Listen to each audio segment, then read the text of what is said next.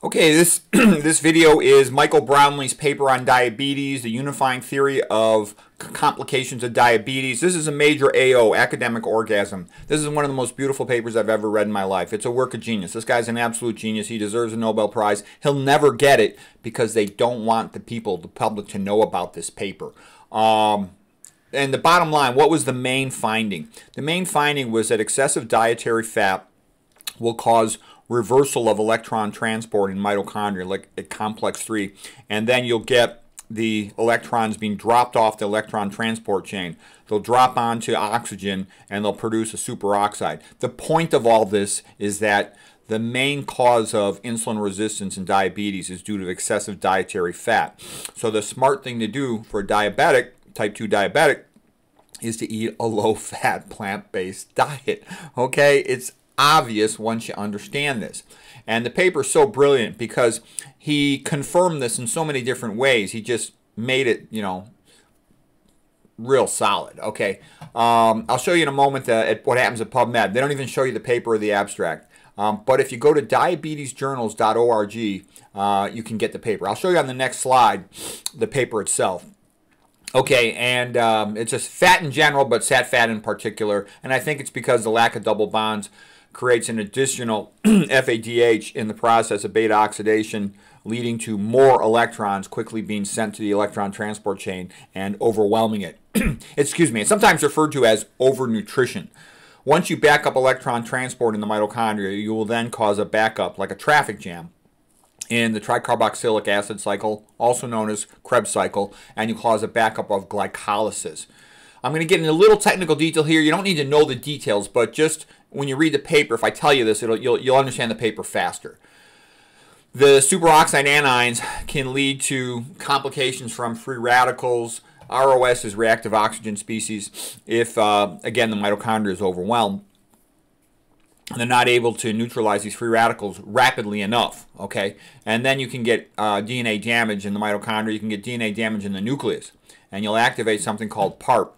It's like the polyadenosine uh, protein for DNA repair, and that actually goes to the glycolysis cycle in the cytoplasm and will inhibit 3-phosphoglyceraldehyde dehydrogenase, and that will then divert it 3-PGA into MGO, methyl glyoxal. So I know I'm getting to a whole bunch of technical stuff, but the reason I'm doing this is because this is how diabetes becomes a metabolic disaster.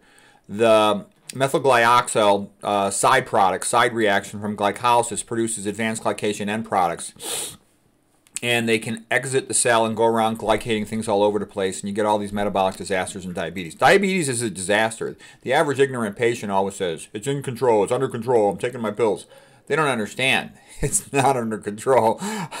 um, the smart move is lower your fat intake, okay? And this is not known. You'll go to fellowship trained endocrinologists at the biggest name universities, and they won't know this because I talked to a bunch of them, and the ones I talked to, none of them had even read this paper. None of them knew about this paper. None of them knew about the other major papers in diabetes. None of them knew about the low-fat diet. It's amazing how little they know. Amazing, literally. All they know is the drugs. And when you read, you know, all the medical student books, residency books, they're always going to be a big picture of, you know, Banting and Best, the discoverers of insulin, because it's a drug. But the guy who actually figured out what happens in the disease, no one's ever heard of him. Okay, what else? Um, then the thing that happens is because you have insulin resistance in the skeletal muscle cells, normally after you eat, that's called postprandial, after eating, most of your glucose, the majority of it, should be taken up into the skeletal muscle cells and stored as glycogen. However, when the skeletal muscle cells are, are insulin resistant, they don't take up that glucose. So then a lot of it, you know, gets stuck in the blood. You have postprandial, after eating, hyperglycemia, high blood glucose and some of that excess blood glucose will go to the liver, and the liver progressively becomes fatty. And I talked about that with my previous um, references, two recent lectures. I'm kind of giving you all the diabetes lectures here, all three in a row together. Um, you'll get a fatty liver from that excess glucose. But here's another bigger problem. The high blood glucose will then go to cells which cannot control the rate of uptake. The skeletal muscle is sort of like perfectly designed to just take up extra glucose after you eat to store it as glycogen. The muscle is like the biggest organ in the body, skeletal muscle. Okay, but the point is there's other cells in the body like your endothelial cells, I abbreviated here ECs. They take up glucose at a rate proportional to whatever the blood glucose level is. That's why if you have prolonged hyper elevation of your blood glucose, hyperglycemia, those cells take up too much glucose. And this same process, you can call it overnutrition, overwhelming the mitochondria electron transport chain. This is located on the intermitochondrial membrane. If you too rapidly send electrons to it, it gets overwhelmed and it starts to back up and go backwards and then you produce these side reaction products reactive oxygen species like superoxide anions and those can get made into you know hydrogen peroxide and if you can't um, detoxify that like with catalase then that'll get made potentially into hydroxyl radicals which are uh, quite hyperreactive and can damage the mitochondrial membrane so that the cells that can't control their uptake of glucose in the setting of hyperglycemia include the endothelial cells. So you get what's called a microvasculopathy, a disaster. That's why diabetics get their foot amputated all the time. It's in the small vessels of the foot. There's nothing to bypass too distally. It's too small to angioplasty. It happens in the eye, diabetic retinopathy. It happens in the kidneys, diabetic nephropathy. It happens in the peripheral nerves, diabetic neuropathy.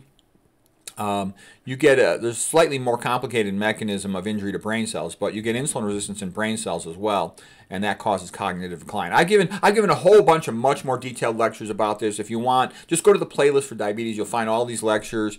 Um, but it's a real disaster. So you get insulin resistance in brain cells because everyone says they only have GLUT3 transporters, which take up all the glucose. That's not true.